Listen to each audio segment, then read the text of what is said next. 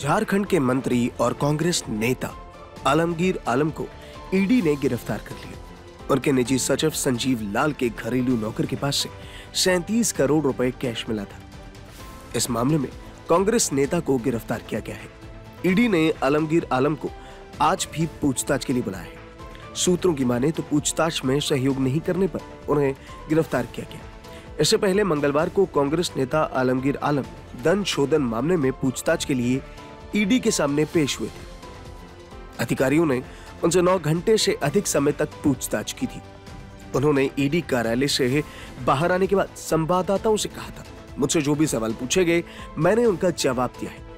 ED ने पिछले सप्ताह आलम के निजी सचिव और राज्य प्रशासनिक सेवा के अधिकारी संजीव कुमार लाल और घरेलू सहायक जहांगीर आलम को उनसे जुड़े एक फ्लैट से 32 करोड़ रुपए से अधिक नकदी जब्त करने के बाद गिरफ़्तार किया था। इस मामले में ईडी ने लगभग 37 करोड़ रुपए की नकदी जब्त की है, क्योंकि एजेंसी ने पिछले मंगलवार को एक ठेकेदार के परिसर से डेढ़ करोड़ रुपए के अलावा ठिकाने से दस दशमलव पाँच लाख रुपए सहित अन्य स्थानों से लगभग तीन करोड़ रुपए जब्त किए थे।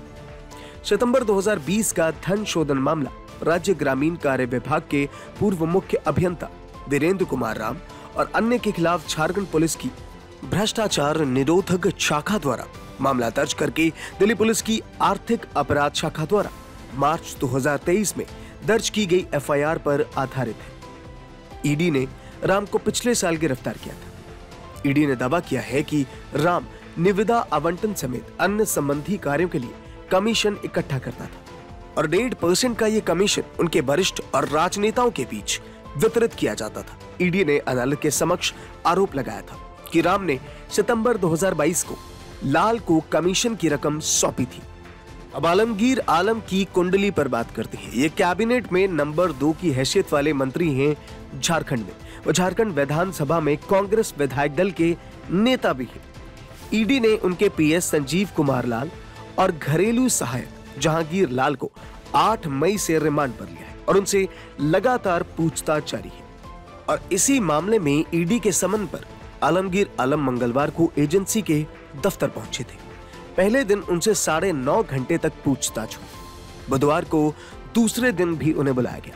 साढ़े ग्यारह बजे वो ईडी ऑफ़िस पहुँचे, जिसके बाद ईडी ने उनसे पूछताछ शुरू की थी। 35 करोड़ रुपए की बरामदगी के मामले में उन्हें पीएस संजीव कुमार लाल और घरेलू सहायक जहांगीर आलम के सामने बिठाकर पूछताछ की गई। इस दौरान वो कई सवालों के जवाब नहीं दे पाए।